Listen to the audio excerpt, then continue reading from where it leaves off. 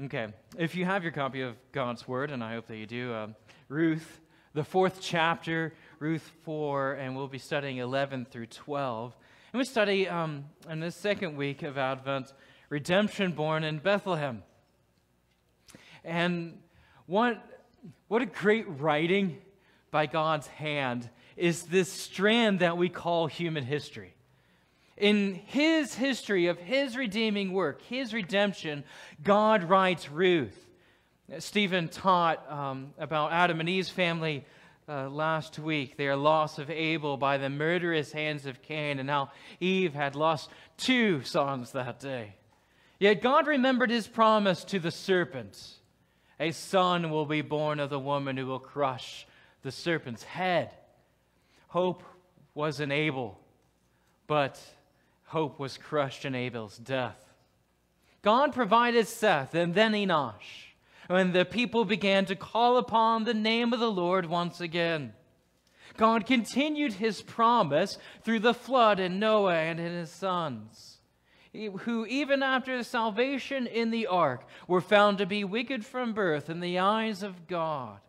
God promised Abraham a seed who will bless the nations. The seed of the woman's uh, promise continued through Joseph, Egyptian slavery, Moses' exodus.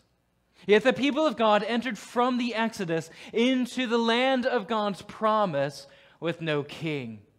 It was in the time of Judges that God zooms in on a family that seems to all other, if you're writing a history, small and rather insignificant.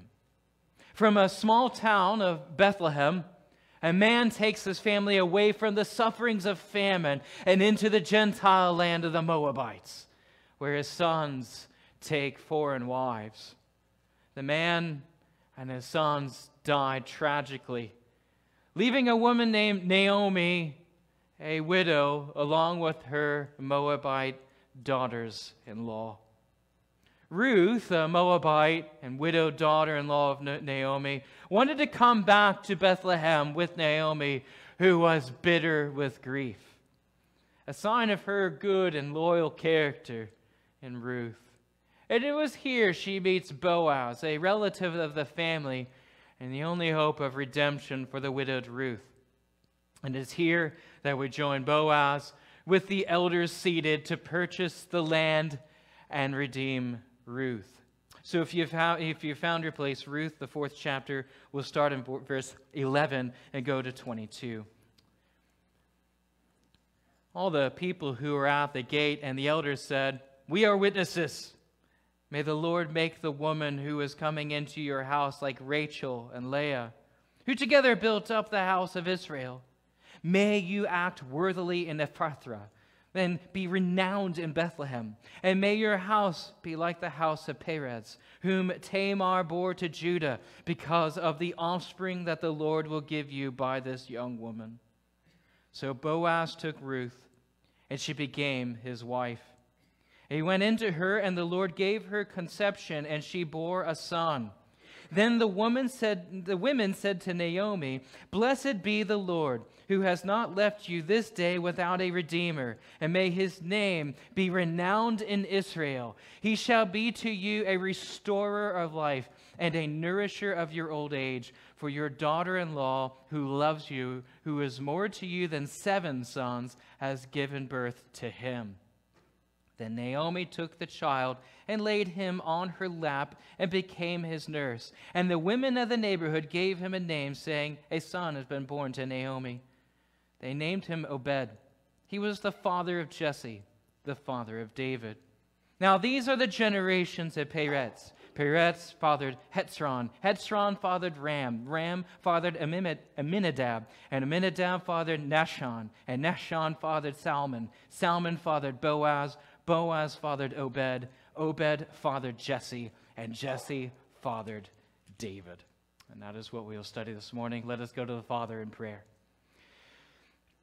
Heavenly Father, what a precious time this is that we can open our Bibles and with them before us we hear the word of our God from ancient times. Oh Lord, we ask that we would see Christ in this passage that the Advent longing of the, for the Messiah of ages past, our longing for Christ to return to complete his kingdom work, Lord, this would be satisfied in the good news of Jesus Christ, Son of God, our Redeemer. So, Heavenly Father, bless this message. Bless your servants. Lord, may it be your word that we hear, the word of our good shepherd, that we may follow, and you would be glorified. And Lord, we ask for these mercies in Jesus' name. Amen. So the elders seated. Boaz gives his speech.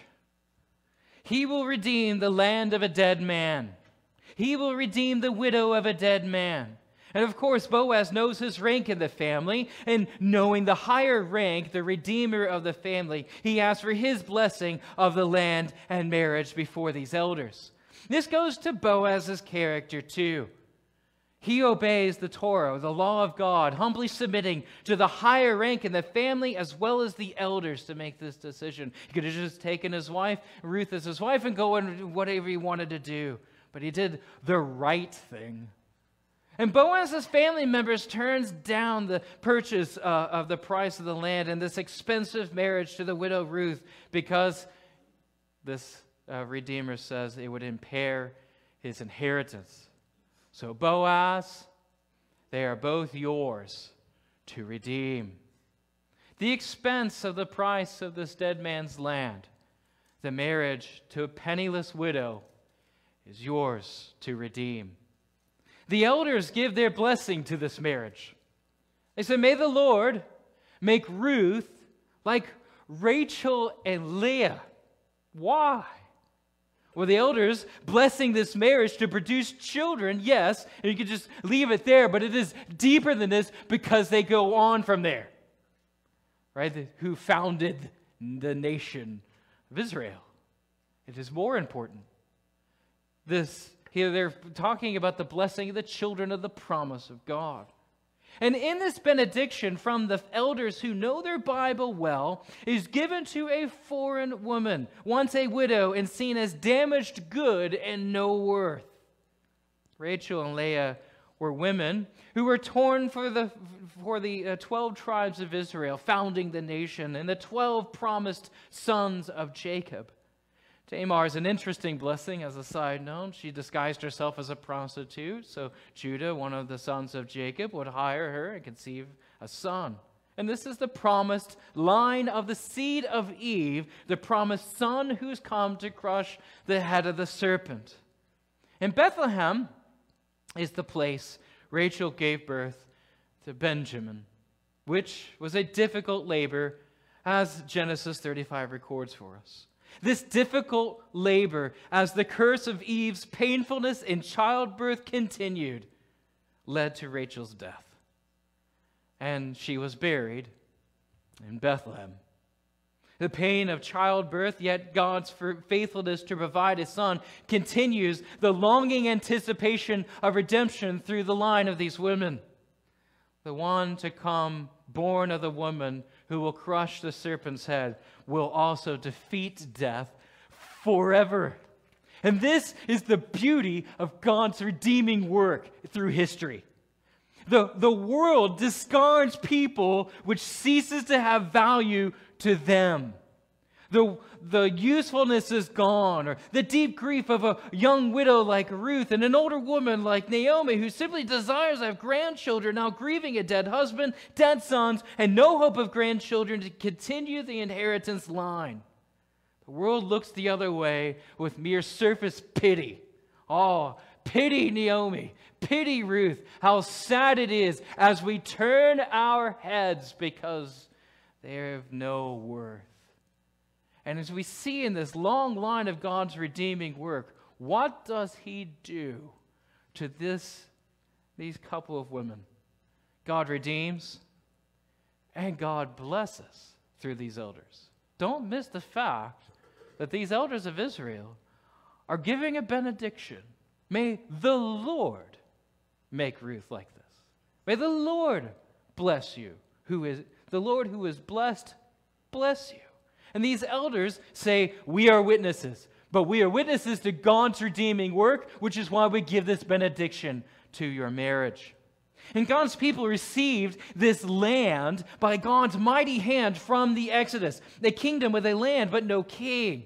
All this during the time of Judges, as we read, uh, where everyone was doing right in their own eyes and there was no king in the land. The promised seed of Eve is a promise traced through a Moabite redeemed, a great grandmother to King David, in the line of the Messiah, as we read in Luke 3:32. The genealogy of Christ, the genealogy of Messiah, the genealogy of Jesus who sits on David's throne forever, includes this redeemed Moabite widow. Now, just think about this for a minute. This divinely written love story, as we're only peering into the end of it, recorded for eternity, reveals a God that has his hand on all nations. Great and small wars, big things, big events. And yet, his eye is also on a small town farmer in a small village of Bethlehem and a penniless widow from Moab. It seems a small thing in human history. If you were to go out and write a history, this is not something you and I would include. But we here, and we are invited in to see Boaz and Ruth get married. The announcement had all the witnesses at the city gate rejoicing and giving blessing. And if we remember, the first negative statement in Scripture is what?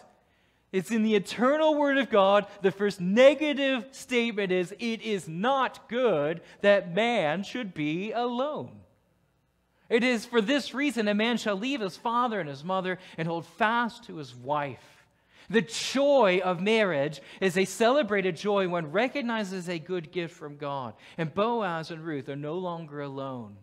God put them together for his redeeming purposes. You need to see this in Ruth 4. Just look at 13 and 14. So Boaz took Ruth, and she became his wife. He went into her, and the Lord gave her conception, and she bore a son. Then the women said to Naomi, this is the, the older woman, this is her mother in law. Blessed be the Lord who has not left you this day without a redeemer, and may his name be renowned in Israel. So, at the sight of God's redeeming work to Naomi, through Ruth's redemption, women rejoiced and said, Blessed be the name of the Lord. This is more about this is about, this is about more than just the gift of life, more than having children. It is here. There is a joy of having children. There's a joy of the gift of life, yes, but this is about a longer strand, a longer tracing of God's history, his redeeming history. This is about God's worship. And before we even go through the rest of this text, this is something that is incredibly important. Because sometimes we, we get the tracing, we get the, the facts right, and we put them in line. Why is God redeeming? Why is God acting through this through history, tracing the promised seed of the woman who's coming to crush the head of the serpent? He has come and he is acting for the sake of the worship of God. So, what do we do with this truth in God's redeeming work to Naomi and Ruth in regard to the worship of God? A bitter widow, accompanied by uh, a loyal but foreign widowed daughter in law, are redeemed by a God of steadfast love and mercy, a God who makes and keeps a promise from generation to generation. Yes, this is true. It is wonderfully true. Yet, I fear that there are those hearing my feeble voice trying to make sense of this wondrous truth with my very limited abilities and this wondrous truth holds absolutely no weight or bearing upon your soul. So push me aside for a moment. And he's like, well, don't even think about me. I want you to think about this is God's word. He is speaking to you. You are meeting him. So listen and draw near. God is ancient. He made the holy men and women of old tremble with dread before his holy presence. The upright, the righteous person fears the Lord with great trembling. Do you come to this, the hearing of the word of God, confronted by a holy God of awesome power and justice, with a holy trembling? Or did you see this? Well, this is just another checklist of the day that is Sunday, of the week that I have made for myself, and I'm just going to, can't wait till this is over so I can get on my merry way. Or are we being confronted by a holy and terrifying God that we tremble before with humility? From the dead of the night of this world, along with its dark sinfulness, my sinful soul barely makes it through prayer and the sermon with any strength that I have left. And that's the place of trembling before God, where our only hope of making it depends solely on the mercy of God. Was God merciful to bitter Naomi in her deepest grief? Was God merciful to redeem the Moabite Ruth in her brokenness as a widow and damaged goods to the world? Yes, gloriously so. When God's awesome, undeserving grace visits like a bright, brilliant, redeeming light piercing through this dark, sinful, immoral, idolatrous world, like the judges, where everyone was just doing whatever was right in their own eyes. There is beauty, great beauty, in God's redeeming love for his people. This, there is this revealing of God's faithfulness in his covenant promise to our forefathers. When he says there will be one born of the woman who will come to crush the head of the serpent, no matter our longing, the depths of our griefs, you know He will fulfill that promise. All the way in Luke 2, and I'm sure this is, uh, this is some Advent reading for all of us, but in Luke 2, when the angels came to the shepherds who are keeping watch over their flock by night, the angels said to them, Fear not. For behold, I bring you good news of great joy that will be for all the people. For unto you is born this day in the city of David a Savior who is Christ the Lord. Now I continue on. And this will be a sign for you. You will find a baby wrapped in swaddling clothes and lying in a manger. And suddenly there was an angel with a, multitude of the heavenly host praising God and saying, Glory to God in the highest, and on earth peace among those with whom he is pleased. In the city of David, this sacred place of God's redeeming work to Naomi, to Ruth through Boaz, to Obed, to Jesse, to King David, is born to you good news of great joy. What is the good news? A Savior has come. The Savior has come. Christ the Lord. And this place before God that makes the upright tremble and bow down in worship is reconciled by Christ. To see God's, to see God's redeeming work to provide Adam and Eve with Seth, then Enosh, the people call upon the name of the Lord. To see God's redeeming work to Naomi and Ruth, the crowd says, Blessed be the name of the Lord. They have remembered you. He has remembered you, and you are without, you're not without a redeemer. Then he traces on a long line of God's redeeming work, begun with the promise in the garden. One, the serpent will bruise the heel while he crushes the head. Blessed be the name of the Lord, who is, is our worshipful hymn sung at Christmas. For Christ, the promised offspring of Abraham to bless the nations, has come. Why?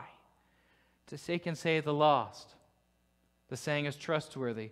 Christ Jesus came into the world to save sinners for the worship of God.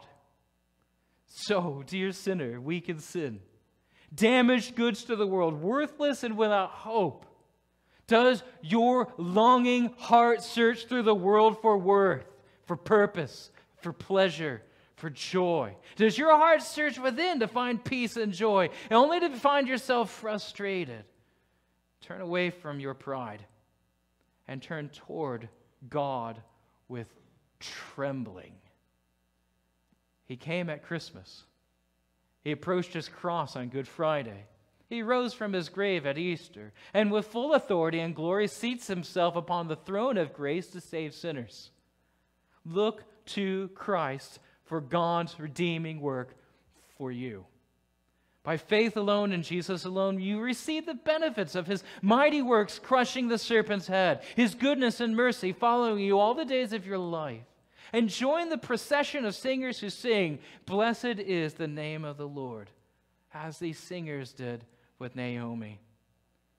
This family joy that is found in the marriage of Boaz and Ruth blessed so richly in God's mercy and steadfast love, just springs God's promise that blesses all nations. Something that would have been, that seems so small and insignificant in a small village of insignificance is how God chose in His sovereignty to continue to trace the line of the most important thing in His redeeming history Christ Jesus, the Lord. And He blesses and He redeems his people. It is good news to the people, you and me. And this family joy is found in God's family. When God, when God invites me into his family, which I am in by being born again, is to enjoy this great promise given to Adam, to Abraham, to David, through this love story of Boaz and Ruth. The promise of enjoyment is the promise to enjoy God forever. So we trust him and his excellent promise that we've discovered here this morning. We are witnesses of God's redeeming work like these elders were. And this witness of God's redeeming work is Christ in us. This room and live stream, I'm sure, are filled with souls made worthless by sin, damaged by the world which turns their face. If sadness of such darkness gets a grip on our own hearts, the world turns away with that same level of surface pity. But not the greater Boaz, who is Christ. You see, Boaz only had enough money to redeem this small plot of land in Bethlehem. He couldn't redeem the whole earth. You go to Boaz's field today, and Bethlehem is no longer in the family. Both Boaz and Ruth, sadly, have gone the way of their fathers into death. And that is the sad but just punishment of sinners. Nothing lasts. Adam and Eve died. Abel died. Seth, Enosh died. Noah died. Abraham died. Joseph died. And you can see this progression through the Bible. So and so begat so and so, and they died. That was not the seed promise. Then so and so begat so and so, and they died. That was not the seed promise. But the seed promise continues. And God traces this through history, something He had planned from old. Is this the son of the woman who has come to crush the head of the serpent? Is this he? Is it Obed? Is it Jesse? Is it David? Is it Solomon? Is it any of these men? And it continues down through the line, and you know where it goes into more darkness and sadness and the sinfulness of humanity, broken by sin. Is this the one who's come to redeem us? Yet God unfolds his promise to our forefathers over time. He will be born of the woman. The line will continue until the promise is fulfilled. What seems a sidetrack is actually God's faithfulness to his promise planned of old. The line of God's Messiah will come through Ruth the Moabite by Boaz, whose genealogy is recorded at the end of the book for readers to see. King David has come. This little town of Bethlehem suddenly becomes important, but not ending there. It doesn't end with the importance that it came with a great king who went the way of his fathers and into death. But we see this in Micah 5, which was read for us earlier by Pastor Stephen. It says, You of Bethlehem Ephrathah, who are too little to be among the clans of Judah, an insignificant village, small, and wouldn't be even recorded in histories, nobody cares. For you shall come forth for me, one who is to be ruler in Israel, whose coming forth is from old, from ancient days. Therefore, you shall give them up until the time when she who is in labor has given birth.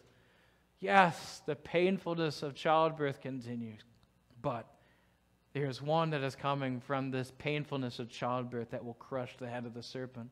He has come from ancient times. He will be ruler of my people Israel.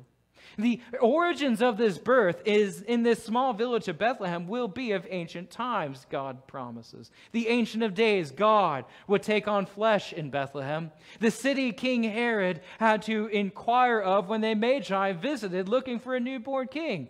Hey, what does the Bible say? Where is the Messiah to be born? Bethlehem. A village whose nearby fields had shepherds bear witness to the angelic hosts praising God. Back in Ruth 4 and in verse 17, it reads this The women of the neighborhood gave him a name, saying, A son has been born to Naomi. They named him Obed, and he was the father of Jesse, the father of David. There is there's something special here that would take an entirely different sermon to completely unfold. But I want to do this briefly. So I want you to zero in and hear this. If you recall God describing the curse of sin to Eve, her childbirth will have pains greatly increased, but from this great pain of childbirth comes great hope in the promised son. The loss of Abel was painful, the grief. The painful birth of Seth revealed God's faithfulness, but there is a kin continued in this. I think God's faithfulness to his covenant unfolds in this drama here in Ruth. Now, seen through Naomi as well as Ruth. Naomi lost her husband and her sons with no heir. The grief would have been immense. I understand completely why she says, Call me bitter now. That's what I'm going to be known as. I'm bitter. I have lost everything. But redemption for Ruth meant redemption for Naomi, and these women recognized that. And it's not just them. There's a personal care from God, yet it is not, it is not only personal. And oftentimes we're tempted to just leave it there. It's a personal relationship. It's just me. It's just God being personal to Naomi. No, He is personal, yet the personal care of God's redemption is for all His people. For this line carries down to Christ, the fulfillment of God's promise that is for all the peoples.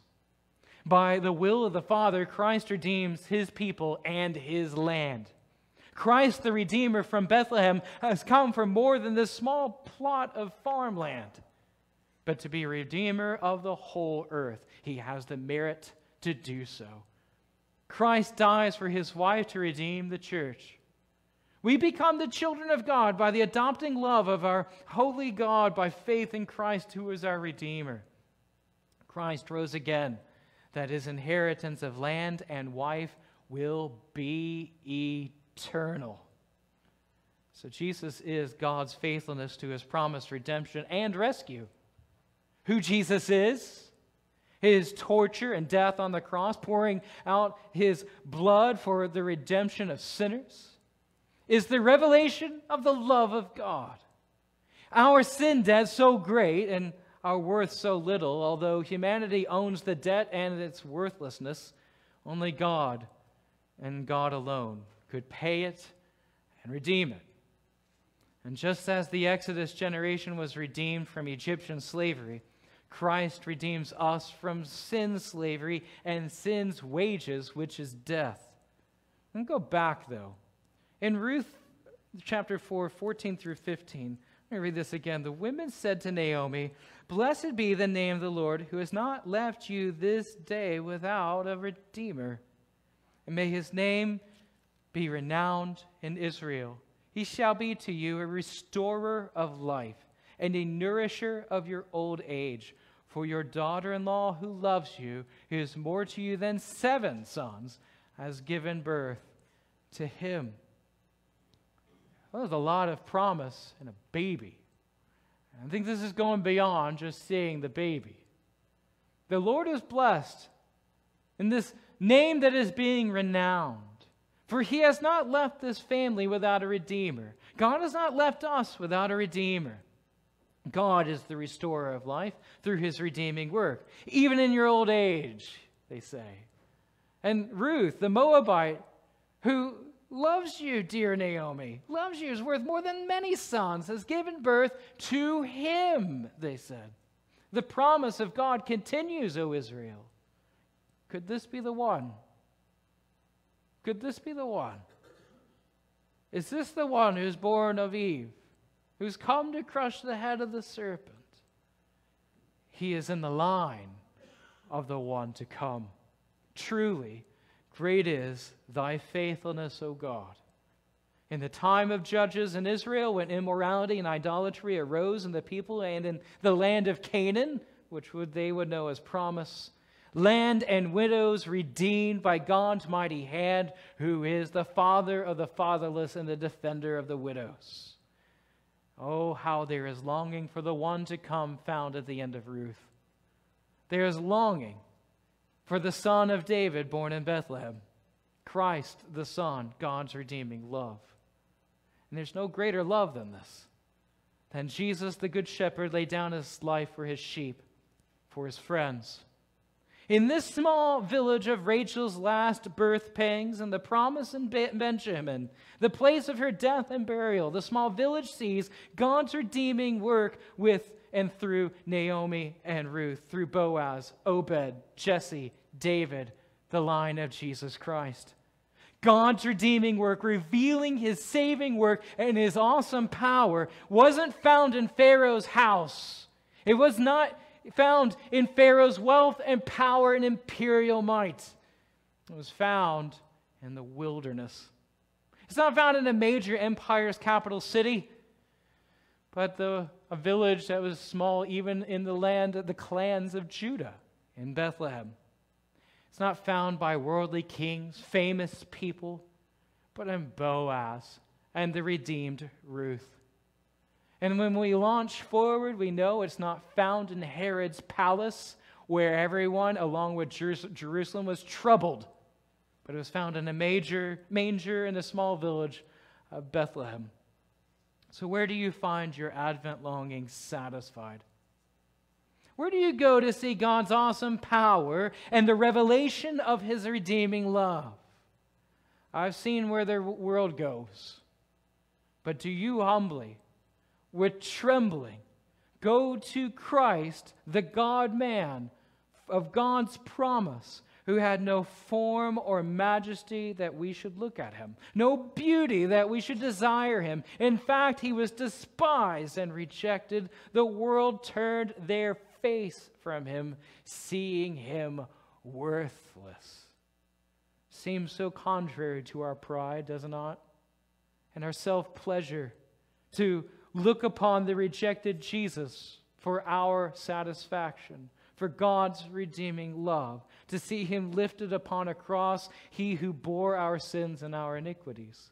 But for me, for a prideful sinner who looked for pleasure and love in the world and found it lacking, I sing, Blessed be the Lord. Great is thy faithfulness, Lord. His redeeming love has taken my griefs, and the deeper than Boaz's redemption of land and widow of a dead man.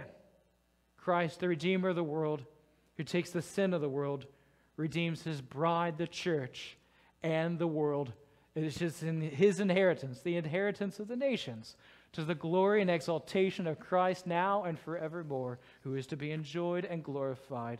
Amen.